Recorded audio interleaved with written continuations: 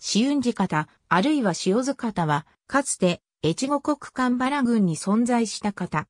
現在の新潟県柴田市紫雲寺地区及び、体内市、塩津地域に広がり、長さ約 6km、横約 4km に及んだ。18世紀前半に干拓により姿を消した。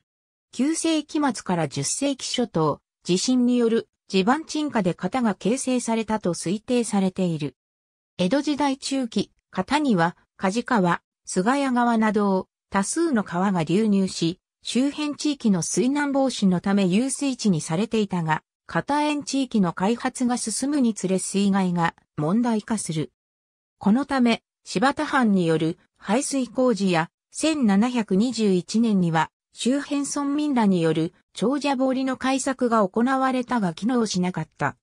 その後、新州出身の幕府御用用商人、竹前権兵衛、小八郎兄弟が自費での紫雲寺方干拓を幕府に許可され、1728年に工事着手。江戸横山町の成田佐左衛門、柏崎の宮川四郎兵衛から資金援助を得た。長者堀の再開策や流入河川の締め切りを行い、1732年頃には干拓が完了。型の後には約2000町部の神殿と42の新しい村が誕生した。これは当時の日本で多く見られた町人請負神殿の中でも最大規模のものであった。この干拓事業では梶川、そして合流先の阿賀野川や信濃川の水量を変化させることとなったため、松ヶ崎堀割や新潟港をめぐって柴田藩と長岡藩の間で大きな水利問題を巻き起こした。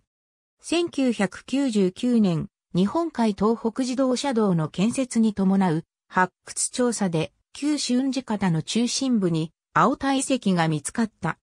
遺跡からは縄文時代晩期終末の集落跡と平安時代の遺構や遺物が発見され、上述のように型が9世紀末から10世紀初頭の地震による地盤沈下で形成されたことが明らかになった。1645年及び1700年の越後国絵図には、塩津方と記載されており、古くは塩津方と呼ばれていたと考えられるが、竹前兄弟が幕府へ干拓を願い出た頃には、紫雲寺方と名前が変わっていた。1721年の長者堀開作によって誕生した河川であり、上流部は船と川と呼ばれる。